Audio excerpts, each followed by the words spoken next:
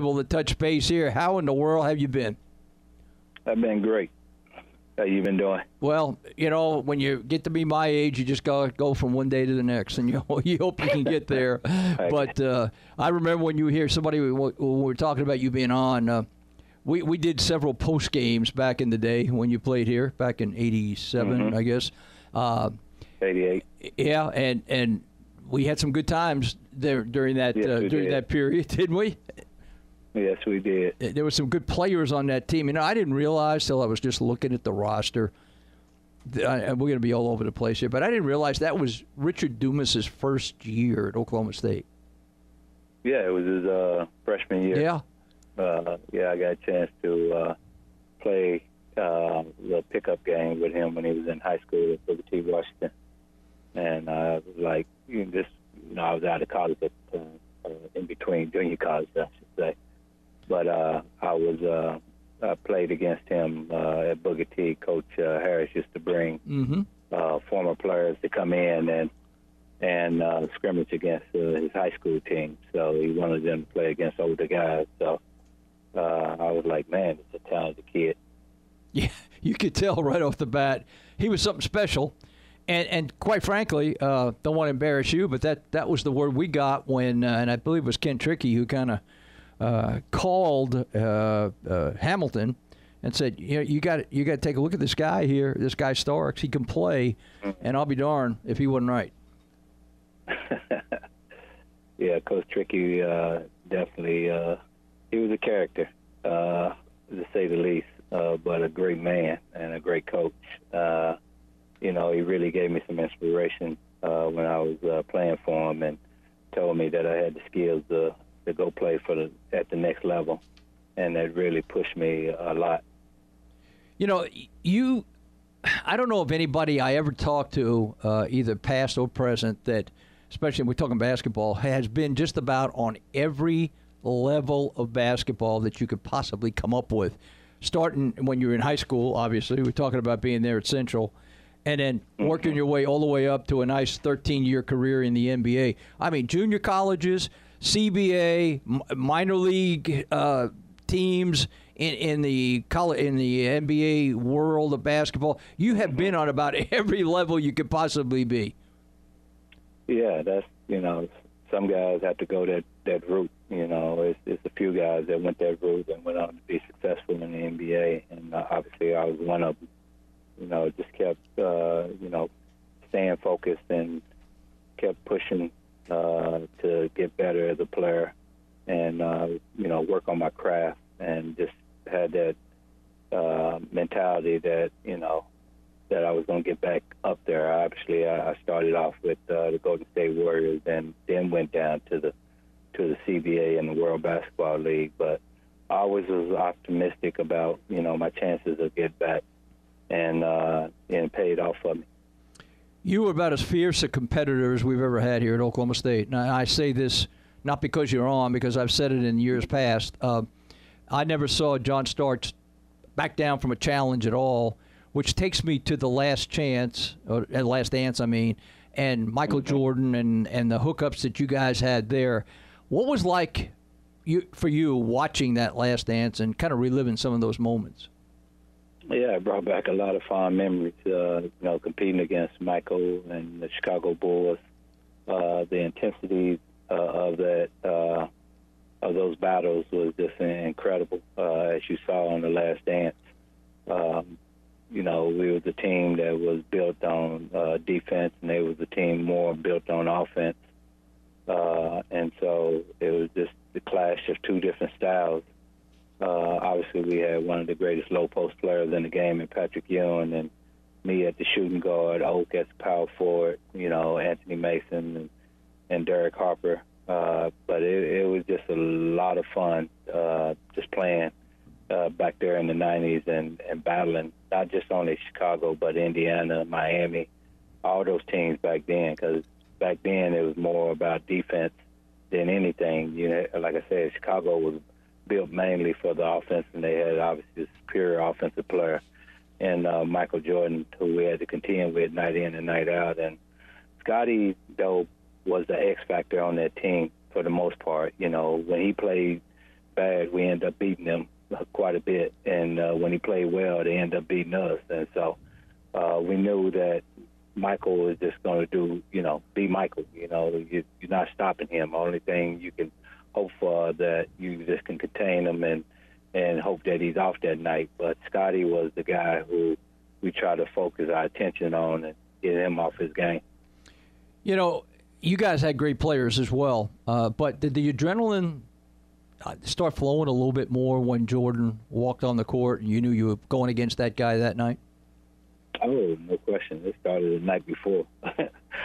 so, you know, uh, a lot of sleepless nights knowing that you got him coming into town uh, and uh, knowing uh, the type of game that he's going to bring and knowing the type of game that you have to bring in order to compete with him.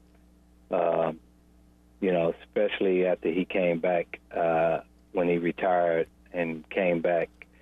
Uh, I can remember the game vividly. He hit the game-winning shot uh, as the the buzzer beater against Atlanta Hawks down in Atlanta, and he was coming coming our way next, and I was like, oh man, it looked like he didn't get his game back together.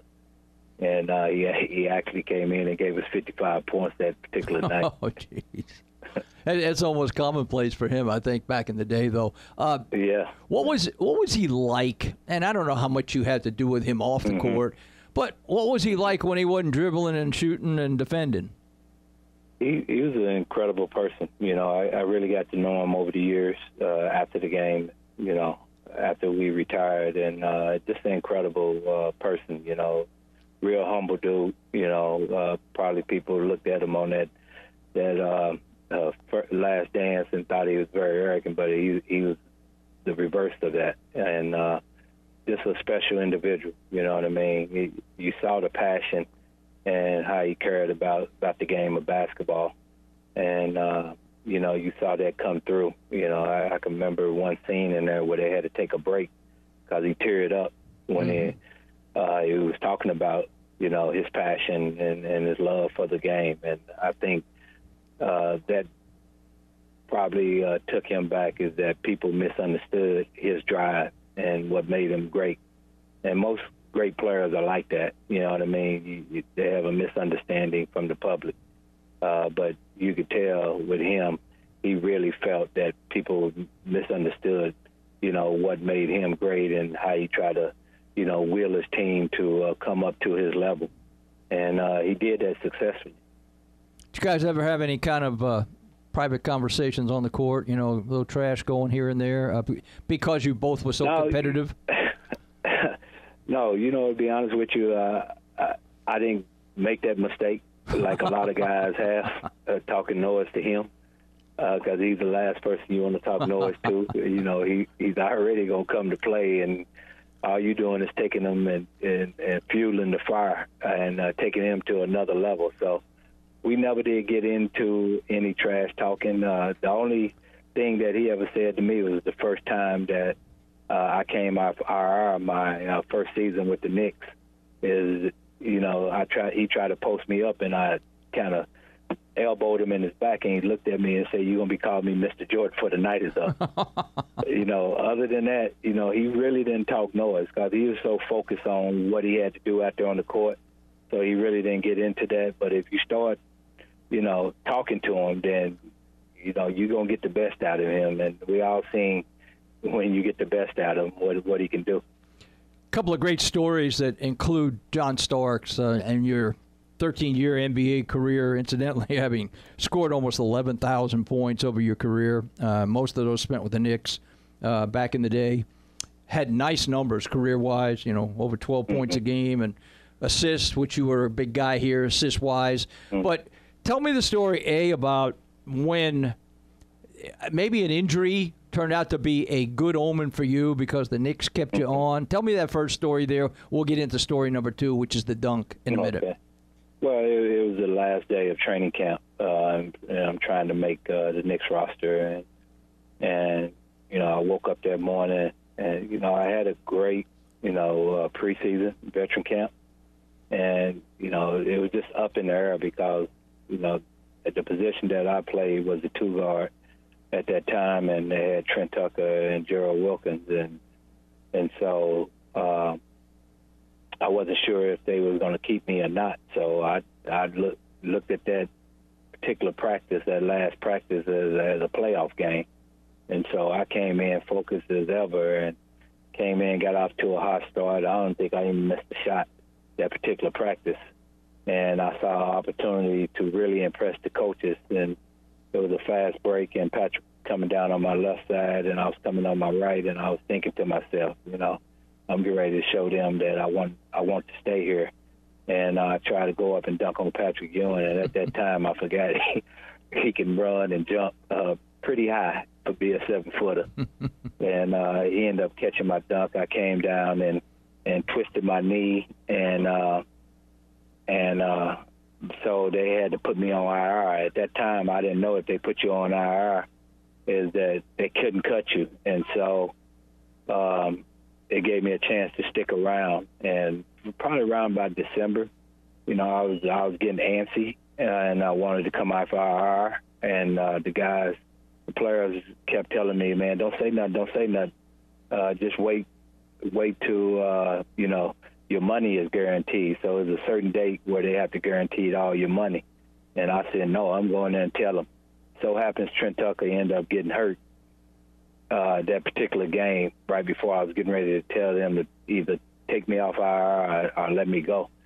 And uh, so it gave me a chance to come on, and my first game was against Michael Jordan. Oh, jeez. Wow. well, so welcome. I always say he was my savior. welcome to the show, right there. Yeah, I know, right? now you you get and and I have some old time New York fans who remember that Game Two in 1993 of the Eastern Conference Finals.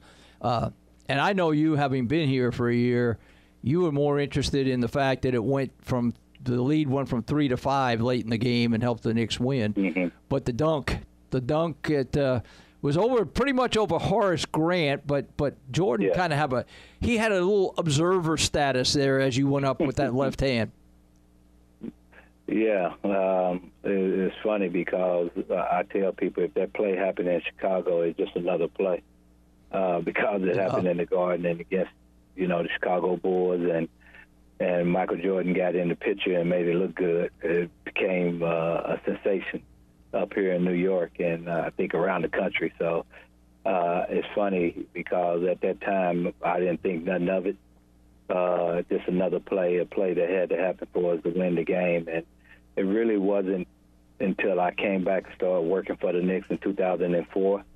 And I can honestly say every day uh, since then, somebody asked me about that play.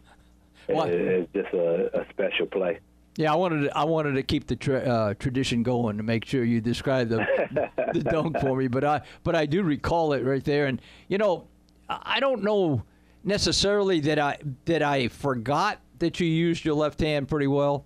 Mm-hmm. But until I went back and watched that the other day, I thought, man, he did that with his left hand, and he did it yeah. like he did it like he does it all the time. Yeah, uh, you know, a lot of right-handers, you know, dunk off two going right uh, pretty well. I'm more the opposite for whatever reason. I think because I got one leg longer than the other. and so uh, I just dunk better going off of two with my left and uh, it was just a perfect situation because Chicago liked to trap you on the baseline, and uh, B.J. Armstrong was pushing me that way, but he didn't realize that Bill Cartwright wasn't in position because he had his back uh, to him.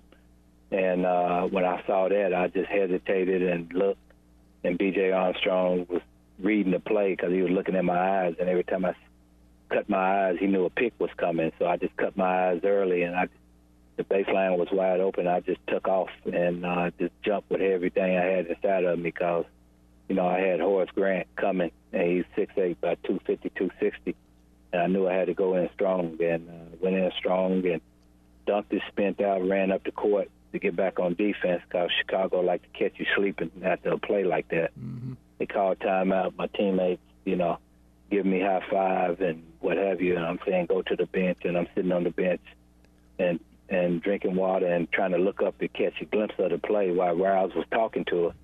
Uh, couldn't catch the play, and it wasn't until the next day where I saw in the paper who was on the back end of that play. And he he had a good look at it. Let's put it. He could have bought a ticket for that play right there because. Oh, no question. All the Bulls fans say you didn't dunk on him. You didn't dunk on him. I said, well, I'm from Oklahoma. If you jump, try to block, you got dunked on too. and they made po- hey when they make posters about something like that, you yeah. know you know it's important, and certainly the Knicks fans can still remember that play right there. You know, a lot of people don't yeah, remember. You ended up only, albeit what four or five games, but you actually played for the Bulls, right? Yeah, I, I played uh, I think one or two games with them, and uh, then I went in there and asked uh, for them to release me, and Jerry Krause wouldn't do it. No boy. And uh, here we go with you know, Jerry we had, Krause. We had a, yeah, we had a little run in, so I, I can understand. You know, they dismayed with Jerry Krause because I had a little bit with him uh, at that time because you know uh, being a veteran player at that time, I was like 36, I believe, no, 34. And, uh, you know, knowing that he wasn't going to keep me and, or resign me at the end of the season, it just, I had an expiring contract. So they just wanted the cap space. And normally what teams do for veteran guys when they bring them in is uh, they just release you, mm-hmm. you know, because they already got the cap space money. And, uh, I went in to ask him to release me. He wouldn't do it. Then uh, finally, I got fed up. I said, "Well, why don't you just take my contract?" And he was talking, "Well, well, now what did you just say?"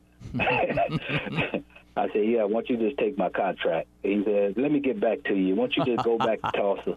You just going home, and let me call the league office and see if we can do that." And then he um, called me back and said, "Yeah, we can do it." But it was one hour after you can sign with a team on a playoff roster, and I was like, "Why did you wait one hour to call me back when you could have released me earlier?" Mm-hmm. You know what I mean? Because I had already talked to Jeff Van Gundy to bring me back to the Knicks, so they head to the playoffs. And he like, he didn't say nothing. Then I said, "No, well, I'm coming back." He said, "No, you just stay there. We just seen your stuff." I like, "Wow." Are you for real? And the next year, the next year, Greg Anthony got traded there. He released him right away. So he was just, you know, he was just being one of those guys that, for whatever reason, towards me, I'm not sure why, uh, that he, he just wanted to like stick it to me. So I think there's a million Jerry Krause stories out there that, that oh, people could no tell. question, no question. I mean, let me ask you, how do you, uh, how do you how do you react to this new plan of the NBA coming back? You know, going to Florida, mm-hmm. playing Disneyland. I mean, it, mm-hmm. it sounds crazy, but I guess it's going to work, huh? Yeah, it's going to be crazy. It's almost like an AAU tournament. where they're down in Disneyland and, you know, the AAU Nationals where everybody's there and playing tournament games and what have you. And the crazy part is that they have to be locked up for three months you know what I mean? Mm-hmm. And that's going to be the crazy. I wonder how these guys going to do it. You know what I mean? And how they're going to, you know, keep their sanity, knowing that they can't, you know, travel and they just have to be in, in uh, you know, Orlando for that uh, amount of time. And so uh, that's uh, that's going to be interesting. You know, guys going to get a chance to know each other uh, quite well, and you know, when you're you know going against each other, you you want that you know, that mentality that you dislike them, but you know you're gonna be locked up, so you're gonna spend be spending some time with these guys. So it's the teams that can stay focused and and the superstars that can really you know uh, drive their teams and, and keep their teams focused because there's, there's gonna be a lot of a lot of things going on down there in this that that uh, teams that not mature enough to handle it don't they gonna they're gonna suffer. Yeah, it's a it's a crazy setup for sure, but at least they're getting back at it. Uh, yeah. Let's let's go back to your college days, and and I know we we covered this on pre and post game interviews that we did when you were here, uh, but when you, what kept you going through those junior college days? I mean, you you you went to two or three, maybe three junior colleges, mm-hmm. and I think there's a period of time where you might have thought, well, you know, this is not going to work out, and you had to go out and work a job. And then we talked about Ken Trickey, of course, at the Tulsa mm-hmm. Junior College. But what what kept you going, other than the fact you knew you could play the game? Well, just my love for the game is is one reason. You know, I always, you know, rather it's just playing street basketball or playing in these, uh, you know, leagues. uh, just to stay in shape.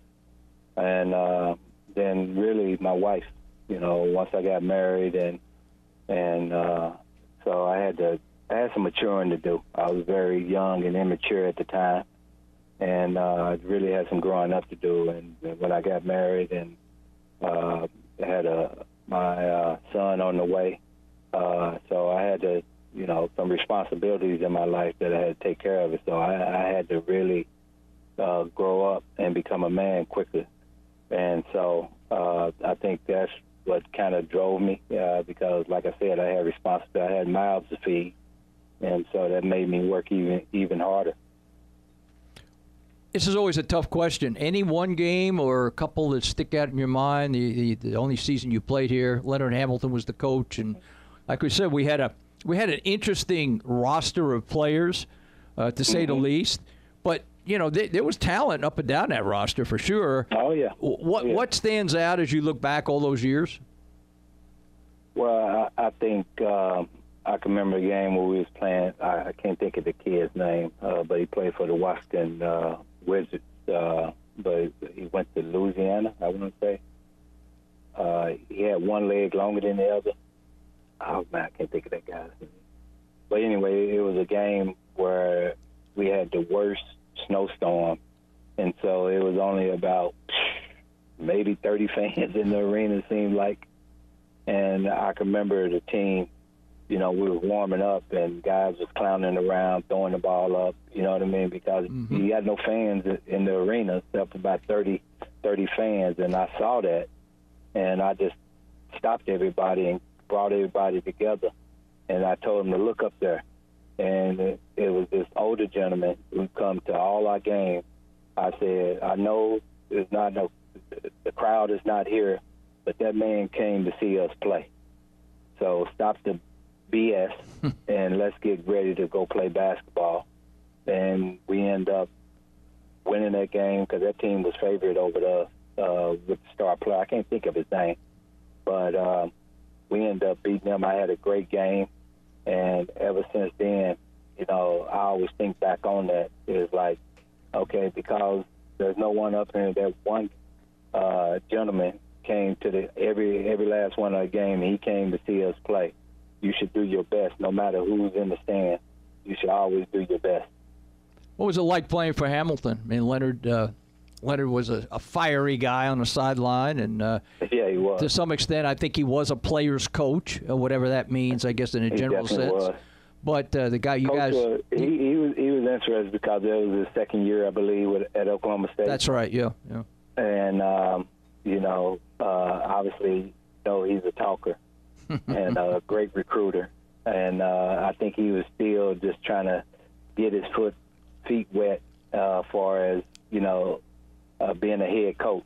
And so uh, we got along very well because uh, he just talked to me all the time, and uh, and I used to try to like pick his brain um, about you know guys that uh, he uh, coached when he was at Kentucky. You know, they had right. great great teams there, and just trying to get you know a little bit more information so I can you know become a much better player.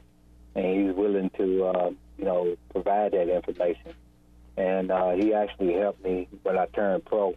Uh, you know, uh, put me with my first agent, Ron Grinker. Uh, so I kind of used him as much as I could uh, for his knowledge of the game and and and try to uh, get an understanding on what I need to do next at the pro level uh, because he has a wealth of knowledge. And uh, it's great to see what he's doing at Florida State. Yeah, mm-hmm. He's a little bit more laid back now than he was back then. And uh, but he's having a lot of success. So uh, I'm happy for Coach Ham. Were you surprised when they, you got that call? Because uh, Trickey called him, as I recall the story and remember the story, and uh, he sold uh, Hamilton on, on get in touch with you, but were you were you surprised when that connection came? Yeah, I, I was surprised. Uh, I remember Coach Self coming down. I mm-hmm. think uh, Coach Brown, uh, who was my junior college, because last the not the last, but the junior college before uh, I went to Oklahoma Junior College with Coach Trickey. He was my coach, and mm-hmm. then he was uh, dean of students, I believe, over at uh, uh, at Oklahoma State when I got there, so he knew uh, me as a player, and uh, he he told me this story. We just had a Zoom call. Some of the uh, my former teammates at Northern, we all had a Zoom call with uh, Coach Brown, Hmm. and uh, and he told me that they was going down to look at another player, and he was telling y'all looking at the wrong player. Y'all need to you know look at John Starks, and uh, they said John Starks who? and when they went down, they came back. He came back and he told them that you was right. so I, I had a great game against the guy who they was talking about. I think he was playing against Eastern down there, and uh, and I had a great game. And ever since then, Coach Self, I used to see him at all the games uh, that he could be at, and I can remember him telling me um, that it was between me and another guy uh, at uh, Northern that they were looking at too. And uh, I remember going up to Northern, and Coach Trickey said, "Who you want to guard?" I said, "I want to guard that guy right there." and uh, I ended up shutting him down. I think he had like six points, and I had like thirty, and they got off of him. And ever since then, they was on me. You know, eh, wrapping this up with uh, with John Starks, we could go on for five hours just reminiscing. But uh, you look at that that coaching staff. I mean, not only Coach Ham, but uh, you know, Self was an assistant there. Tim Carter, Yeah. who I great respect for, was an assistant Yeah. as well. Uh, that was a pretty good staff as well. Oh, great staff. You know, all great coaches. Uh, you know, uh, you know, we had a great time.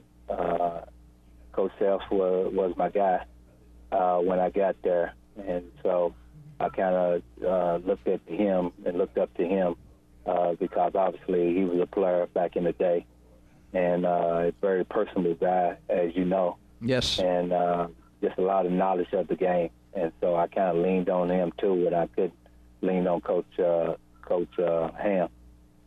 Well, John, as always, we appreciate your time, and uh, yeah, we, like I said, this could go on for two hours, but I think you got a few more things you want to do before we, we do that. But I do appreciate you joining us. Uh, I can promise it's well. I hope it won't go 30 more years till we do this again. Hopefully, hopefully I'll be I'll be around for 30 more years. but uh, we enjoyed reminiscing a bit, and uh, I know a lot of people around here still follow what you're doing. And I do I do want to get Yeah. into this too before we get out of here. You have a very important foundation that you're proud of, and you want to just tell people about it. Yeah. Well, I started a foundation uh, back in '94 to provide scholarships to uh, high school students uh, in the New York and Tulsa area, and uh, you know we've been very successful and been going strong. You know, you hear about you know other athletes foundation. I've seen athletes foundation come and go, but we've been very fortunate enough uh, have a uh, an incredible uh, young lady. I'm say she's young. She is probably like that. Jennifer Alford, uh, who's been running my foundation since '94, who's been doing a tremendous job, and you know we couldn't do it without the the sponsors that's been on board since day one, and uh, we've been giving out scholarships uh, at 15 uh, a year a clip, and so we've been doing that as well as we uh, continue to help them throughout their college uh, career, so long as they continue to meet the grade point average. And it's a beautiful thing because you know you see the students that they graduate, they even during the time that they're going to college, they always come back and participate in our in our events that we do up in the New York area. So uh, I'm very proud of that. That we'll be able to help uh, inspire a lot of students to go on and live out their dreams because I, I tell them all the time it's like you know we once was students just like them and and I had to go the traditional route because I wasn't offered a scholarship. So I had to go the traditional route like a lot of these students do uh, to provide you know get financial aid and and try to uh, find a way to go to college. And so I just wanted to do my part because I was in position to uh, help. So uh, I'm extremely uh, uh, excited that we continue to go strong I've been going strong uh, since 1994. Well, that, that is a great cause, and obviously a lot of uh, young men have benefited from that. Hey, John, I do appreciate your time. Is there something people could do to be part of that? Get them. Could they? Is there a Yeah. way they could be part of this if if they Yeah, want to help? just go to the John Starks uh, Foundation.com. Okay, they can find it there, and all the instructions would be there. Yeah, they right? can find that. Yeah, and uh, they can fill out uh, and apply for a scholarship. Okay. Well, I like that idea. Hey, Great catching up with you, bud, and uh, we won't. Right, we'll do it again soon. I promise you. Yes, sir. And uh, best of luck to you, you and your family. Okay. All right. Same to you. Okay, John. take see, care. see you, bud. Bye bye. John Starks.